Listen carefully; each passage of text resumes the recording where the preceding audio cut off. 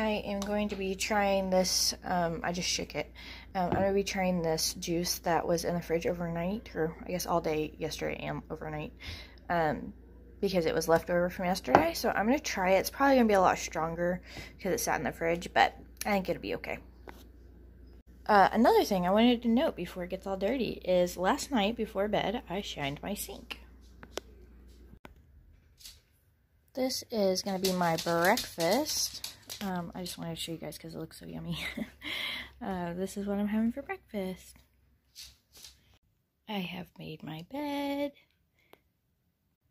And I have gotten dressed and combed my hair and gotten a shower. So my hair's still super wet. But I have done my three main things. I, I said four. Um, I am going to do a five minute hot spot because look at all this clutter. It's all piled up. So I will be doing a five minute hotspot, but I also wanted you guys to see that I hung those paintings with, with my husband's help, obviously. But what do you guys think? Do you like them? I like them. I think they bring some happiness into my room. I think they're pretty. So anyways, I'm going to do this five minute hotspot really quick. All right, five minute hotspot is complete. And my husband still has to deal with that paper clutter. but my side looks good. um, he already went through it, but I think maybe he was unsure of what to do with some of it, so he kind of just left it there. But anyways, it looks a lot better, and it took way less than five minutes. I am working on pantry organization. Don't mind my thing. I put it there to dry. But I'm working on pantry organization. And our pantry, right now it's pulled this way. But typically it's pushed back further. So like about where that's at. Um, let me get a better angle here. Sorry. Uh, you can see it's pulled out from the wall because I've been, I had to pull it out in order to get to that side of the, the stuff wall. We don't like it. Plus, sorry, this is really loud.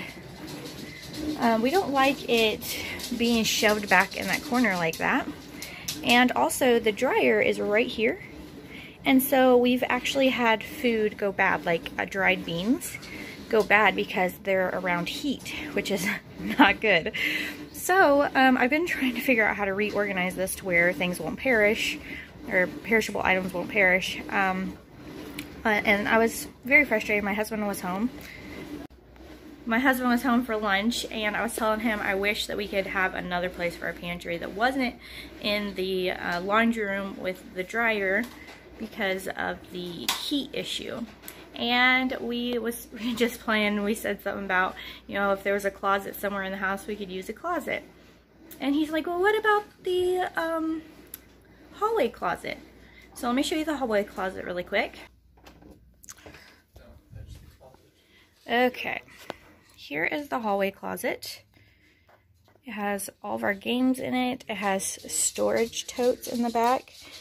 Random things we're storing in here swim clothes, craft things. Um, so that's what's in here right now.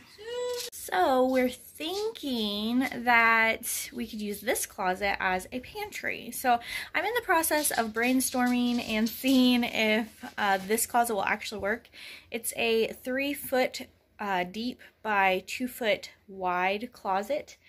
Um, so I'm trying to figure out if we can make that work for the amount of uh, stuff we have currently in our pantry, knowing that we probably need to downsize on some of the stuff in there. Um, but a lot of it's really hard to get to. Some of it is um, like uh, overstock. So like if we run out of ketchup, we have an extra ketchup. If we run out of mustard, we have an extra mustard, you know, that kind of stuff. Um, and then we have overstock like flour. Um, I usually buy flour at the Amish store and I get it in bulk. And so I'm trying to figure out a way, because we don't, we actually are running low on flour and we're going to be going to get our 50 pound bag soon. Um, and I have these big tubs I store it in typically. So I'm trying to figure out a better solution for storing the flour so that it's not taking up as much space. The only solution I have thought of is possibly, my aunt does this, she puts her flour, she makes tons of breads. Oh, she just, it's so good.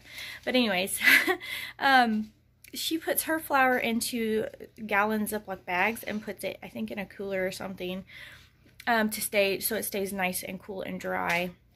so you know it, nothing can get in there and get it and that kind of stuff so i thought at the bottom of this closet we could possibly put like a cooler or a tote uh, with the gallon bags in it and that might make more sense than the current solution i have for it um, so I'm, I'm just thinking through all my options. this will not be done today by no means, um, but it is something I'm working on and I will definitely show you guys the result whenever it gets done. Maybe I'll even bring you along for the journey, who knows.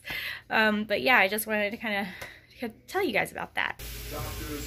I'm making hamburgers for dinner. We're gonna have potato salad, some broccoli cauliflower with peppers, and some beets. It's the end of day 13 here, and uh, it was pretty good day, busy. Uh, been working on looking into making this pantry work and ran to some stores looking for some containers and different things and it started snowing and um, we're back home now uh, gonna eat dinner just kind of sit and watch some TV right before bed um, but yeah it was pretty good day and um, trying to think oh I took my son to the doctor today and he got released from all his um, uh, they had him on some weight restriction and stuff for his shoulder but uh, he was uh, cleared to be able to lift things, and so he's super excited. So yeah, that was a positive for today. I hope you guys enjoyed this video. If you did, don't forget to like, comment, and subscribe, and I'll see you again tomorrow.